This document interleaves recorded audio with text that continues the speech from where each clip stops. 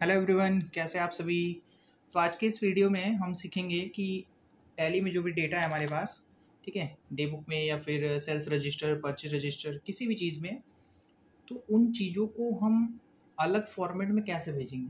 जैसे ये टैली में है, आप इसको एक्सेल में भेज सकते हैं पीडीएफ बना सकते हैं जेपीजी बना सकते हैं, ठीक है?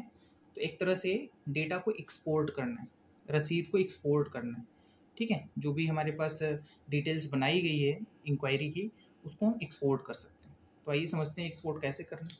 जिस चीज़ को एक्सपोर्ट करना है, उसको सामने रखें। जैसे ये पूरी अगर आपको रिपोर्ट भेजनी है, जैसा दिख रहा है, वैसे ही पूरा रिपोर्ट आपको भेजना है।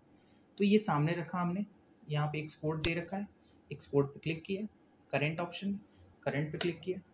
अब देखिए फ़ाइल फॉर्मेट क्या है? पीडीएफ आप और भी चीज़ों में एक्सपोर्ट कर सकते हैं। आप पीडीएफ बना सकते हैं एक्सेल की शीट में ले जा सकते हैं। एक्सेल में ले जाने से फ़ायदा ये होगा कि कैलकुलेशन कर सकते हैं। कोई छांटने का काम होगा, आप छांटने का काम कर सकते हैं। कि सिर्फ़ पेमेंट की डिटेल्स दिखे, सिर्फ़ कंट्रा की डिटेल्स दिखे, ठीक है? या डेबिट अमाउंट दिखे, जो भी चीज़ें आपको मैनेज करनी है एक्सेल में मैनेज कर सकते हैं। तो एक्सेल में ले जाना है तो कॉन्फ़िगर करना पड़ेगा, ना? आपको यहाँ पे डिटेल्स भरनी पड़ेगी। तो कॉन्फ़िगर पे आइए, यहाँ पे देखिए लिखा है फ़ाइल फॉर्मेट फ़ाइल फॉर्मेट में आएँगे। अब देखिए, आपको एक्सेल यहाँ पे सेलेक्ट करना है। एक्सेल स्प्रेडशीट दे रखा है। इंटर किया हमने।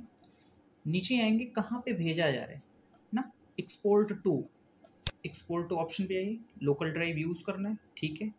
फोल्डर पाथ जो है, किस फोल्डर में जा रहा है? तो फोल्डर पाथ पे सेलेक्ट किया। अब देखिए सेलेक्ट फ्रॉम ड्राइव इंटर किया। अब आपको कहाँ ले जाना है? C drive D drive E drive कहीं भी ले जा सकते हैं। आप डेस्कटॉप पे ले जाना है डेस्कटॉप पे ले जाइए। तो मैं पेन ड्राइव लगी हुई है तो मैं पेन ड्राइव में रखने का प्रयास कर रहा हूँ। तो ई ड्राइव इंटर किया। इंटर अब ई ड्राइव में डायरेक्ट जा रहा है तो आप ई ड्राइव के किसी फोल्डर में भी ले जा सकते हैं। जैसे ई ड्राइव सेलेक्ट किया, ठीक है? ई ड्राइव में टैली फोल्डर में ले जाना है टैली अब ई ड्राइव में टैली में जाएगा। अब देखिए, यहाँ पे फ़ाइल नेम फ़ाइल नेम भी आप चेंज कर सकते हैं। जैसे हमने लिख दिया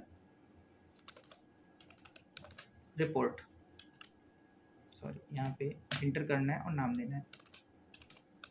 रिपोर्ट देखिए रिपोर्ट नाम आ गया। ये डिटेल्स भरने के बाद क्या क्या भरना है?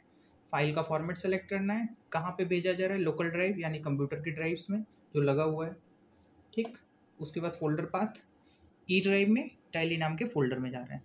किस नाम से जा रहे हैं? रिपोर्ट नाम से। अब बाहर आ जाइए और एक्सपोर्ट कर दीजिए। ये आ गया।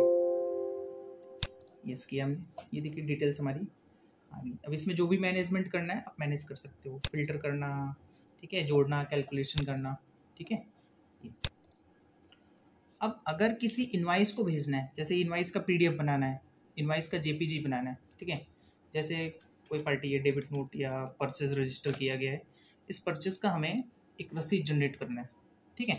तो ये रसीद अल्टर पी करके आप प्रिंट तो कर सकते हो, लेकिन इसे पीडीएफ बनाना है तो अल्टर ई e करेंगे एक्सपोर्ट का शॉर्टकट है। यहाँ पे दे भी रहा है, ठीक है? तो अल्टर ई e। अब देखिए करेंट ऑप्शन यूज़ करना है इंटर अब देखिए, ये एक्सेल में जा रहे हैं, जो हमने लास्ट टाइम सेलेक्ट किया हो रहेगा, उसमें जाएगा। तो आपको क्या करना है? पीडीएफ बनाना है। तो आप कॉन्फ़िगर पे जाइए, नीचे स्क्रॉल करते हुए आइए जब नीचे आएँगे तो आपको डिटेल्स यहाँ पे मिल जाएगा। फ़ाइल फॉर्मेट फ़ाइल फॉर्मेट को चेंज करना है। किसमें ले जाना है? जेपीजी या पीडीएफ और भी फॉर्मेट है।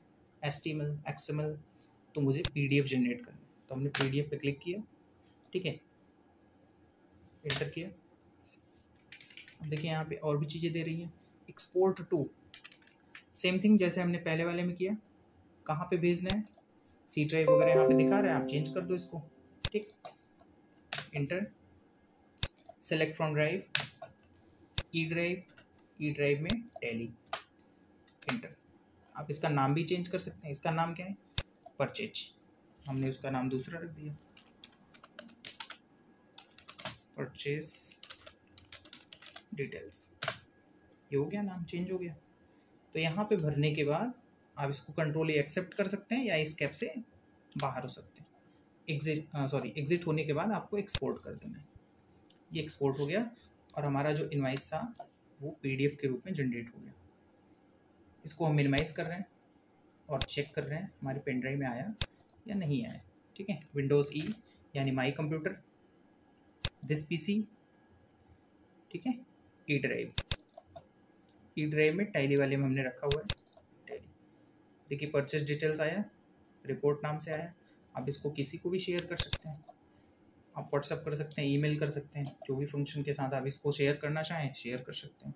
आप रिकॉर्ड्स के रूप में रखना चाहें रख सकते हैं। इस तरीके से जो भी डिटेल्स है टैली में, हम उनको एक्सपोर्ट कर सकते हैं। चाहे रिपोर्ट है, चाहे रसीद है, आप उसको एक्सपोर्ट कर सकते हैं। ठीक है? आई होप ये वीडियो आपको समझ में आई होगी।